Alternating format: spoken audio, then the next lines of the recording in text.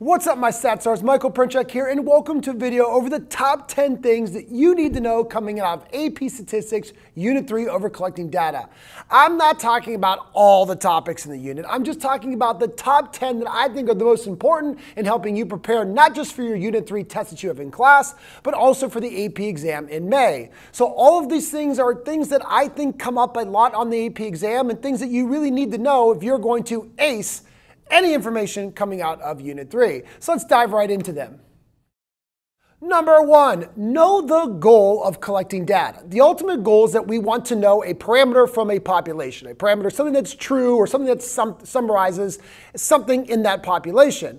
And unless we can do a census and get that parameter exactly, which is going to be very hard and very time consuming to do, we often just get a sample. And from a sample, we collect a statistic. Again, anything that summarizes a sample. And the ultimate goal is for that sample statistic to be very, very close to that population parameter. But it's never going to be be perfectly close because of natural variation that we have called sampling variability. Now, the idea is this. We want to reduce that variation between our sample statistic and the population parameter as much as we can. So making sure that we don't have bias and that we have good random representative samples is all super important to make sure that we can get as close as we can to that population parameter. For example, if we want to know the true proportion P of people in a population that have brown hair, we can go and get a sample of people taken from that population and we can find our P hat. That is the sample proportion of people that have brown hair. Now the sample proportion is not going to match the true, not going to match the true population proportion perfectly, but as long as we're free of bias, random and representative, we should be really close. So everything we do is trying to reduce that variation to get our sample statistic as close to that population parameter as possible.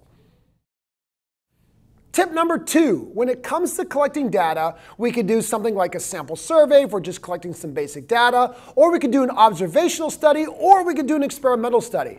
Now, oftentimes you're going to be asked, what is the difference between an observational study and an experimental study? Well, I look at it as two really important differences. First, what actually happens in those studies. In an observational study, you're just observing. You're allowed to ask questions. You're allowed to talk to your subjects and gather information from them, but you're not allowed to give them any treatments or do anything that could affect your response variable. Whereas in an experiment, you are imposing treatments onto your subjects to determine how those treatments affect some response variables. That's the first difference. The second difference is what you could actually conclude. If you're just doing an observational study, the only thing that you can conclude when you're all done is that there might be an association or a relationship between your variables. You might find out that sleeping a lot is related to getting good grades or getting good sleep is associated with getting good grades, but what you cannot say is that getting sleep causes you to get good grades. If you want to use that word cause, and even with an experiment, it's still hard to use that word cause, but if you even want to attempt to use the word cause or have a cause and effect relationship, you have to conduct a very well designed experiment. Tip number three know the different sampling techniques. You have a simple random sample, a stratified random sample, and a cluster random sample, and the last one is called a systematic random sample. Knowing those four different techniques is really important because there's usually going to be one to two multiple choice questions where you have to read a sampling technique and determine which one it is. A simple random sample starts with your population, everybody gets a number, ignore repeats, ignore numbers nobody has, and you randomly pick 50 of them out. But the idea is that any group of 50 could be picked. That's what makes a simple random simple random. Now, in a stratified, you first break your population into groups. Maybe you divide your population up by ethnicity, for example, and then you take some people at random from each different ethnicity. All right, you create groups, you take some from each. Now those groups are called homogeneous because everybody in each group has something in common, they're all homogeneous. And then you take people from, again, can't say it enough, from each group. In a stratified random sample, you are really guaranteeing yourself representation of an important variable like ethnicity that you think matters. Cluster is when you separate your population into, well, mini populations. So maybe your population is already somehow divided into these little groups, and each of these little groups itself is like a mini population, meaning that they're heterogeneous within the group. Each group is a nice mix representing that population.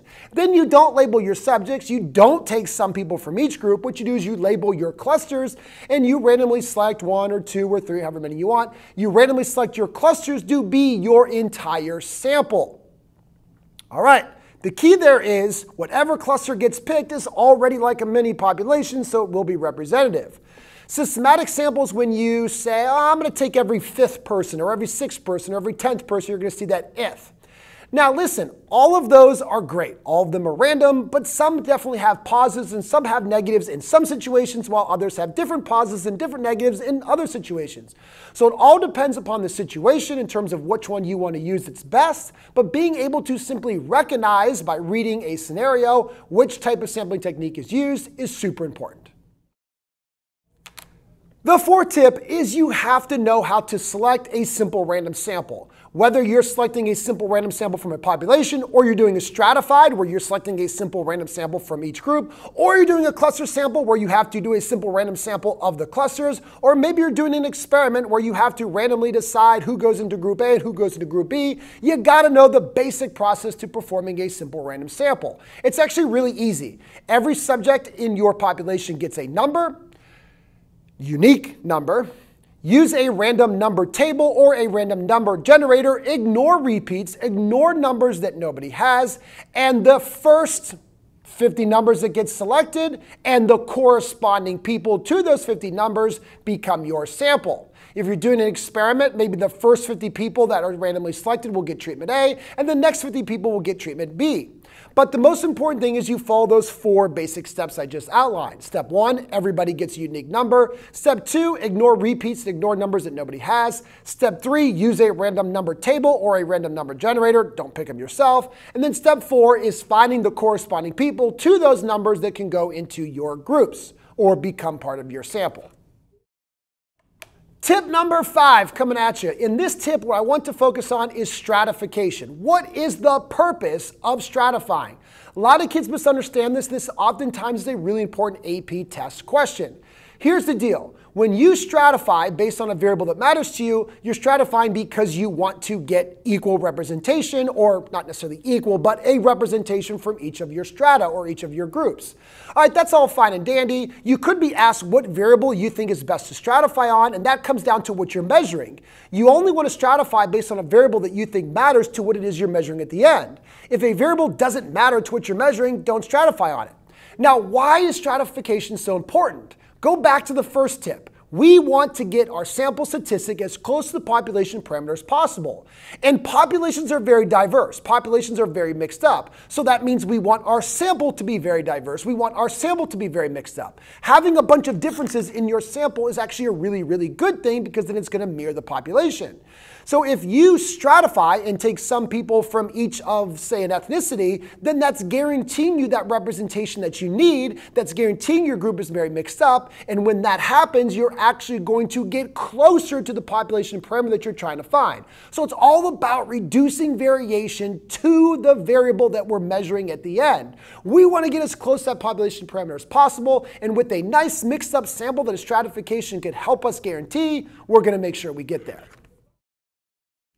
Tip number six, understand bias. Bias could cause a sample statistic to be extremely far away from the population parameter that you're trying to estimate. In general, we have two umbrellas for bias. We have selection bias, which means that anything is done improper in how you select your sample. It could be simply doing something that's not random, using volunteers, doing something out of convenience, undercovering an entire group, or overcovering an entire group could lead to selection bias. Basically, your selection process is messed up and it wasn't good enough to produce a random representative sample. The second umbrella is what we call survey bias. Survey bias is when something is wrong with your survey. So maybe you have the most perfect random representative sample in the world, but how you ask the questions or the survey you give them itself has bias in it. This could be the wording of your questions that could cause somebody to give a different response. We actually have a name for that. That's called response bias. Anytime the response from a person is not truthful or a lie, there's some type of response bias there. Could be the person asking the question causing the lie, could be the wording of the question causing the lie. It could be a broken scale. Maybe you got a bunch of drafts and you want to get their weights and the scale that they're on is broken, so all the responses are lies. But that's response bias. Non-response bias is when a group of people that were selected to be in your sample choose not to respond. Now, some people say, ah, who cares, just ask more people. That's never the solution. Here's why. Maybe the people who don't respond are not responding for a particular reason that makes them different than those that do respond. And remember what we've said twice already in this video, we want our sample to be mixed up, diverse, representative, and different. And if there's a difference between people that respond and people that refuse to respond, I want those differences in my sample. So I need to get those people to respond. Maybe I call them, email them, bug them, go to their house, give them some type of incentive. As long as that incentive gets them to respond truthfully, I'm fine with it. But we got to get them to respond so that we get their opinions. Tip number seven know the four pillars, four principles, four elements of good experimental design. First, we have treatments. Well, you need two or more treatments for comparison reasons. If everybody in experiment gets the same thing, you have nothing to compare it to to know if it even got better. So you got to have comparison through two or more treatments. Second, you got to have randomization which subjects get what treatment has got to be done randomly. And we don't do just randomization for fun. We do so because randomization helps control for other extraneous or confounding variables that we cannot control for. I look at randomization like a salt shaker. It takes your people and it mixes them up and it evenly disperses them into your groups. That way, both groups are very different within because your population is very different within, and then your groups are all different within, which makes them similar between. So that way, the only differences between what your subjects have is what you choose to give them. All right, the next pillar is replication. Now, replication actually has two layers to it. The first layer is do your entire experiment again and hope to get similar results. If you could get similar results by doing your experiment one, two, three, four, five times, it only gives more credibility that your results are accurate. The other type of replication we have is replication within an experiment, which means the more subjects, the better. If you have a thousand people getting treatment A and a thousand getting people getting treatment B, well, with a thousand people, you have good replication because with a thousand people, you're going to get a lot of nice diversity and a lot of good representation versus only five people and five people. With only five people in one group and five people in another group, that's only five people. You're not going to get that diversity and that replication that you want. So the more people, the merrier, the more the better. It's going to give you stronger, more valid results. That's also a form of replication. The fourth and final pillar is direct control. There are always going to be extraneous or lurking or confounding variables that you can control for.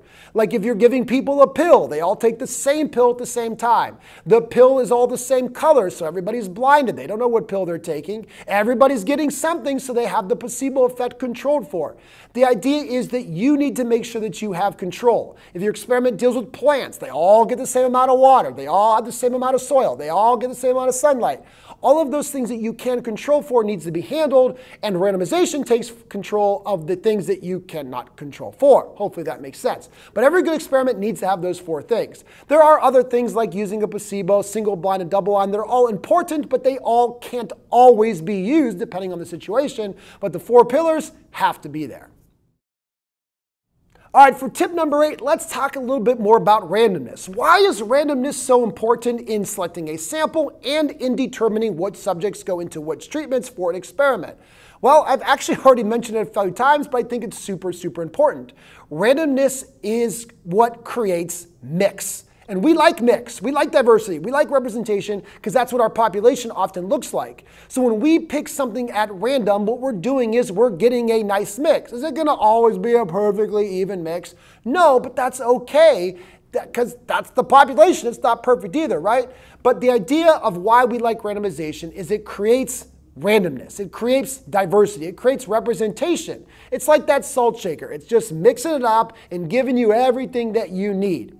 Same thing with an experiment. We really want those two groups to be very, very, very, very similar between, which means that they're both very, very mixed up within. And randomness should help that occur. That's why we love randomization. So make sure that you understand how to do something at random, giving everybody a number, using your number, random number table, and all that fun stuff. But also got to make sure you understand why we need randomness because it creates representation, diversity, differences, and that's what we want if we're going to get closer to the population parameter that we're trying to find. Tip number nine, know the three different experimental designs. First, we got completely randomized design. Second, we have a randomized block design. And third, we have a matched pair design. So let me give you a quick example to run through these. Maybe we want to do some type of experiment to learn whether listening to classical music or country music is better at helping kids uh, study or prepare for an exam. All right, so completely randomized design. We got 100 kids, everybody gets a number. 50 of them are going to go into the uh, country music group, 50 of them are going to go into the classical music group at complete random, right? That's salt shaker randomly dispersing all those other variables we can't control for. Block design is when you're like, boy, oh boy, there's just one variable that's way too important for me to just leave up to randomness. Maybe that variable is gender. You know, boys and girls are going to perform differently at the end of um, a unit, and they're also going to respond differently to music. All right, so we block. We put all of our girls in one block, we put all of our boys in one block. In the boy group, randomly, half are going to get the classical music, half are going to get the country music. Same thing with the girl group, half country, half classical. So at the end of the day, we still got half our people listening to country music and half listening to classical music, but now now we've guaranteed that representation of gender. Finally, we have matched pair design. Matched pair design can only be used if you have two treatment groups or, two different treatments. And the idea is that you pair two people together because they are very, very similar. Two boys, both have high IQs, both get good amount of sleep, right? You, you think about all these variables that could impact your response variable and you pair them together. Then, randomly, one gets treatment A, the other gets treatment B. That way, you have really solid results. And if one kid gets better because of the classical music, you can't blame it on anything else because it was so similar to the kid that he was compared to. Match pair design can also be done with people get paired with themselves. You just got to be super careful. It can only be used in certain situations, but you could definitely pair people up with themselves as well. And the final 10th tip is this know who you could infer or generalize your results to. Whether it's a sample or an experiment, you got to be able to understand who my results could go to. Now, if your sample was selected at random, whatever you learn from that sample can be generalized, inferred to the larger population, but only the larger population in which that sample came from. Easy. Now, with experiments, we kind of have a double layer of randomness here. First, if we want to say that there is a cause and effect relationship, our explanatory variable, cause response variable, who gets what treatment has to be done randomly. Got to be done randomly. But if we want to take the results of that experiment and apply them to the general population, then the people in the experiment had to be first randomly selected from the population. So if you have that double layer of randomness, randomly select the subjects from the population, then randomly assign them to the groups, you could A, say that there's a cause and effect relationship, and B, you could say that that cause and effect relationship can be generalized to the larger population. Now listen, in an experiment, oftentimes you can't randomly pick people because then you got to make them do something. So you typically have to use volunteers. Not the end of the world. As long as those volunteers are randomly assigned to their treatment groups, you could still say cause and effect. But the problem is you could only infer or only generalize your results to people similar to the volunteers in your study. You can't necessarily infer those results to all people. All right, that's it for the top 10 tips coming out of AP Statistics Unit 3. Hopefully this will help you do really, really well on your Unit 3 test in class and prepare really, really well for the AP exam test in May. But if you are looking for more practice review response questions, practice multiple choice questions, study guides, and way more detailed videos, please check out the Ultimate Review Packet for AP Statistics. You get a free trial to check it out and see all the great benefits it has to help prepare you. Best of luck.